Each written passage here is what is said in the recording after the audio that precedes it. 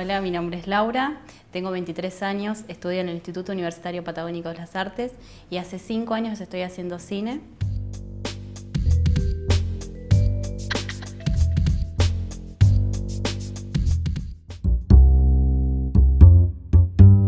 El cine en realidad tiene como mm, esa cualidad, esa característica de tener distintas cosas por las cuales uno puede vivir o se puede dedicar productor, poder ser director de fotografía, sonidista, eh, postproductor. Y aparte una parte fundamental también que creo que nos brinda esta, la institución es también poder ser profesor.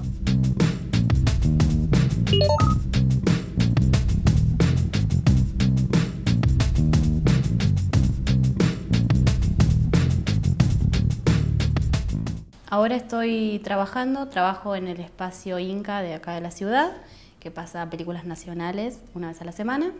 Estoy desarrollando un proyecto de largometraje. También desarrollé ahora una serie web en constante búsqueda de siempre de, poder producir y contar historias patagónicas.